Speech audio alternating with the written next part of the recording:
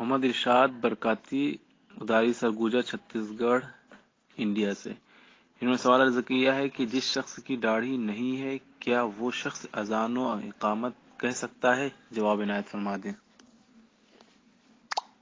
جس شخص کی داڑھی نہیں ہے، اس کو اذان کہنا مکرو تنظیحی ہے، جس کا مطلب یہ ہے کہ جو اصل مقصود اعلان ہے، وہ تو ادا ہو جائے گا۔ مگر چونکہ سنت کے خلاف ہوا، اس لیے بہتر یہ ہے کہ داڑھی والا یعنی متشر آدمی، اس اذان کا اعادہ کرے۔